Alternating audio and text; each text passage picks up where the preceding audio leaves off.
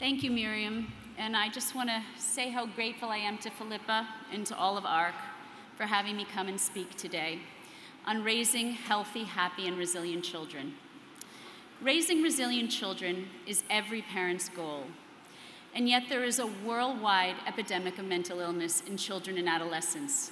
It's disturbing and should, should make us pause to understand both its origins and its solutions. We're here today to focus on the solutions, to repair the social fabric. But there is no social fabric without healthy families. But first, we need to understand the underlying causes of this epidemic. As a social worker, psychoanalyst, and author, I have spent the last 33 years working with parents and children. I saw this epidemic coming at me like a tidal wave.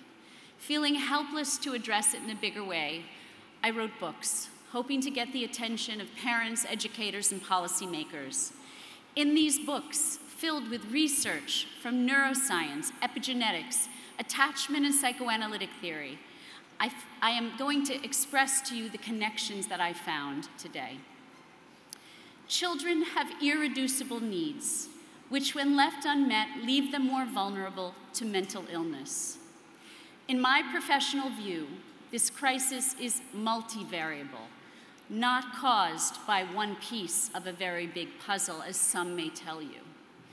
In the 1990s, I was already seeing an uptick of younger and younger children being diagnosed and medicated, these children were entering adolescence more susceptible to mental illness. This crisis has been caused by a combination of factors, and there are many, which I discuss in my ARC paper, but I will reduce it to five of some of the most important factors today. One, children are born neurologically fragile, not resilient. Based on their vulnerability, they need attachment security as a foundation for future mental health.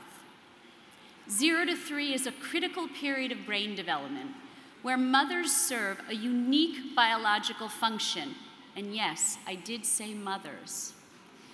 Uh, they serve a unique biological function of regulating children's emotions from moment to moment buffering them from stress and providing them with a feeling of safety and security through their emotional and physical presence.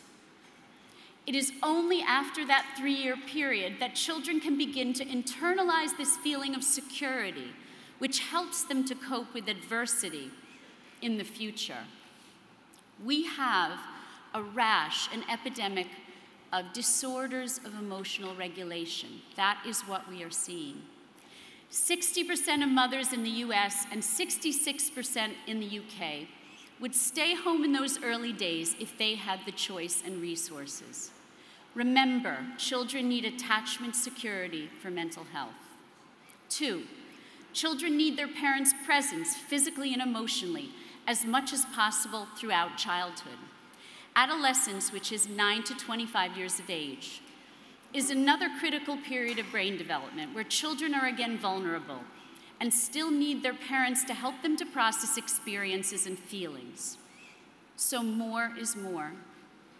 The more we can be there physically and emotionally in these two critical periods of brain development, zero to three in adolescence, the greater the chance your children will become mentally healthy and resilient to stress. I can't state enough how much children need their parents' presence.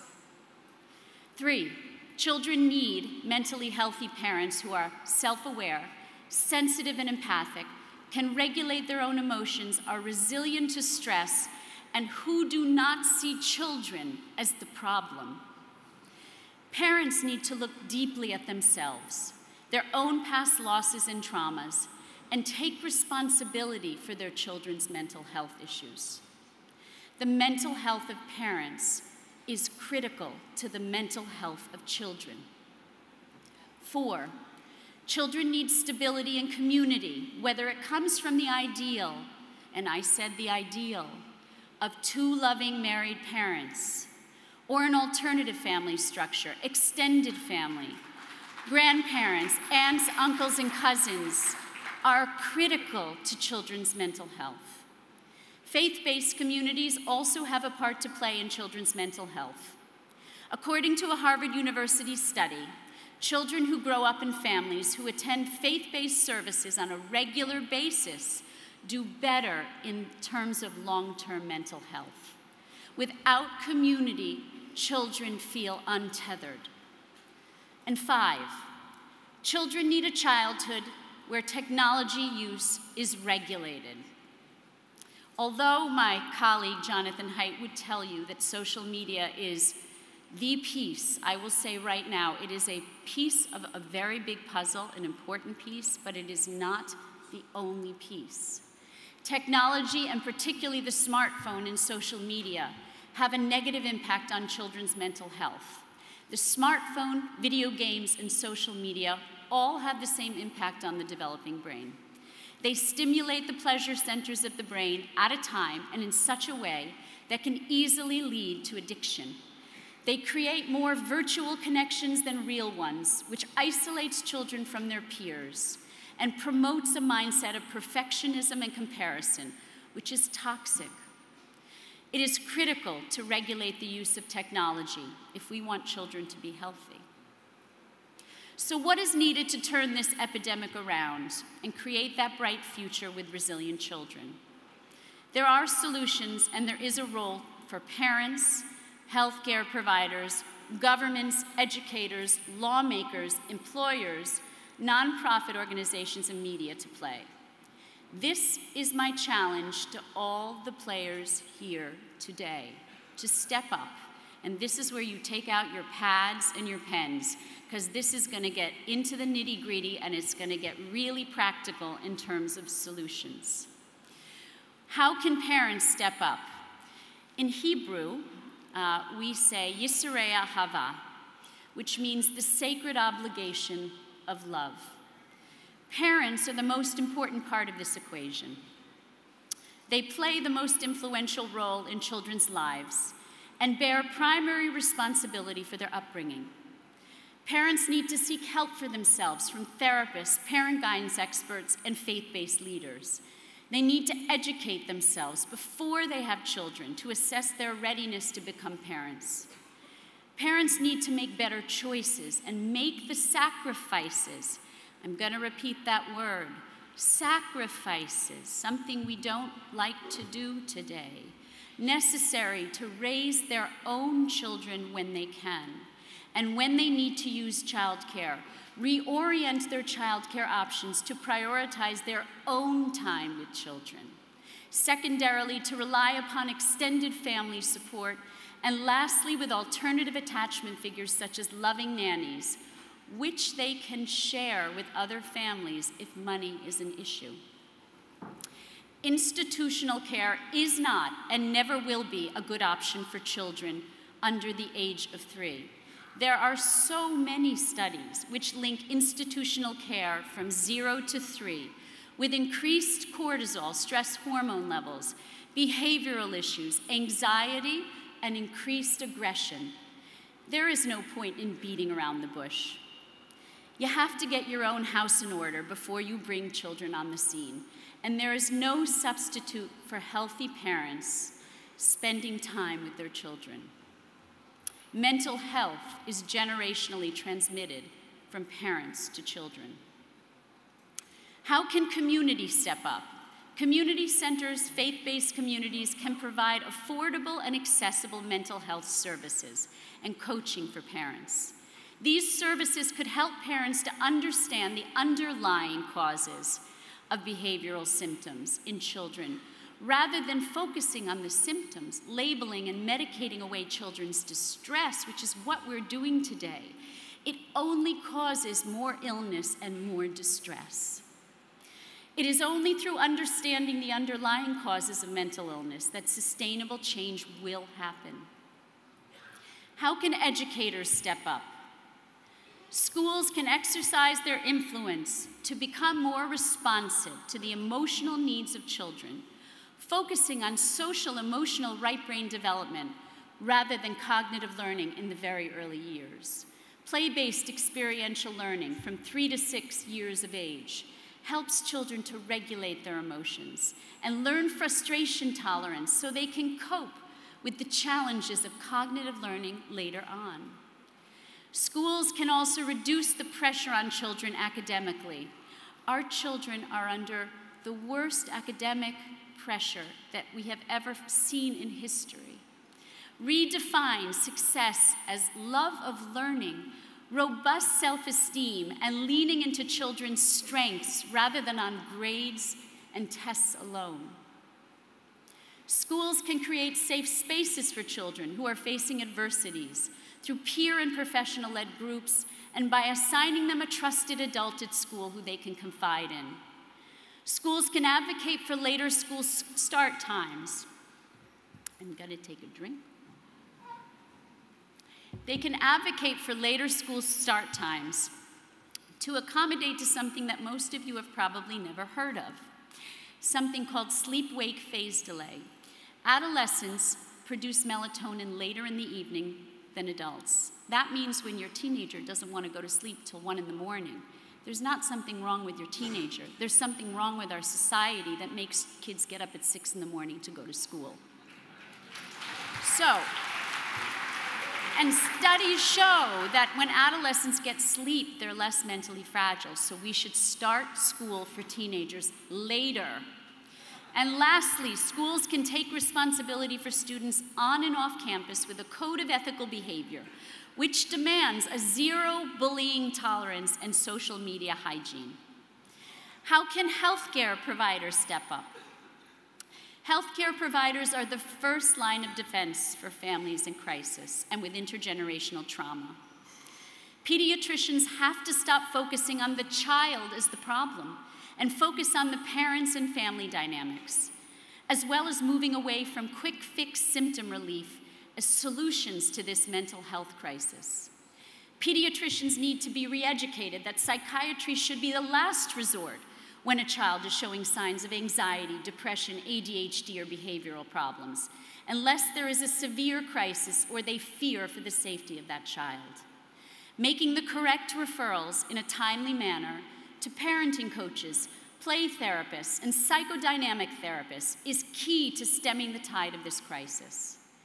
Educating parents about the importance of breastfeeding, being physically and emotionally present from zero to three, attachment security, and the dangers of institutional daycare is a priority for doctors, nurses, and home visitors. How can media step up? Media has an important role to play in helping to turn around the narrative that work outside the home is more important than mothering. Mothering is the most important and valuable work.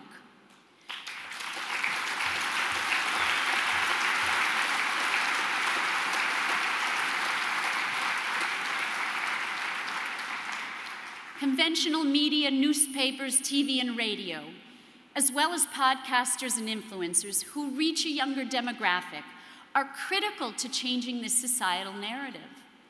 Media has, for too many years, focused on the needs of parents and not on the needs of children. And too often the lens is focused on the economic perspective rather than the mental health perspective highlighting women in the workforce rather than the importance of women at home.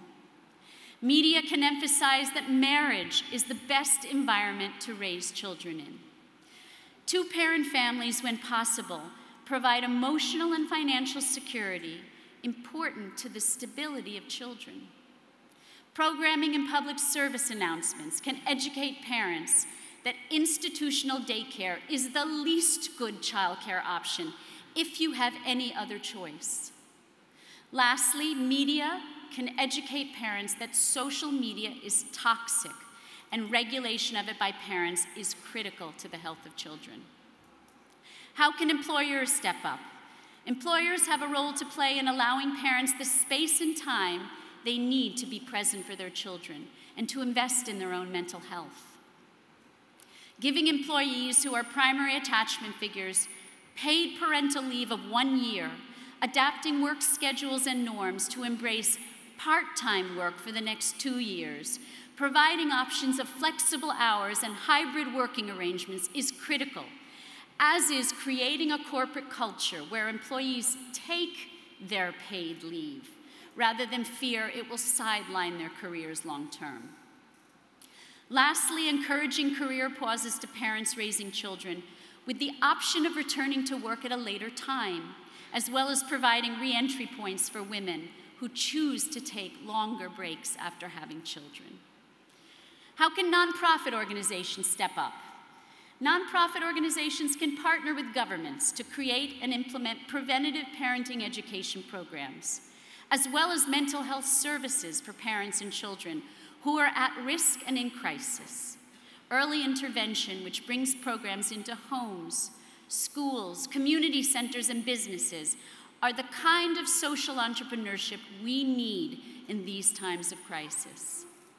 Nonprofit organizations can train women to work in fields which offer part time opportunities, where they can work on their own terms.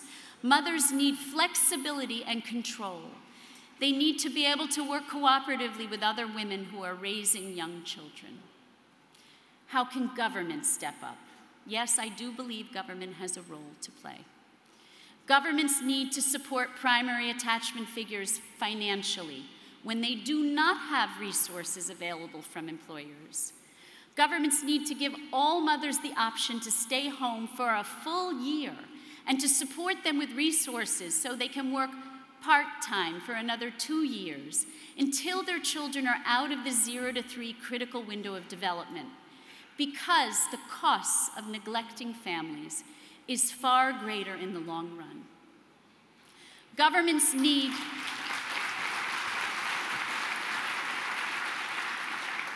Governments need to give flexible spending money to families to use in any way that is best for their family rather than providing state funded institutional care. These stipends could be used by mothers to stay at home, pay a family member, or to pay a nanny. Families should be supported through tax benefits and incentives to raise children in two parent married families to prioritize family stability.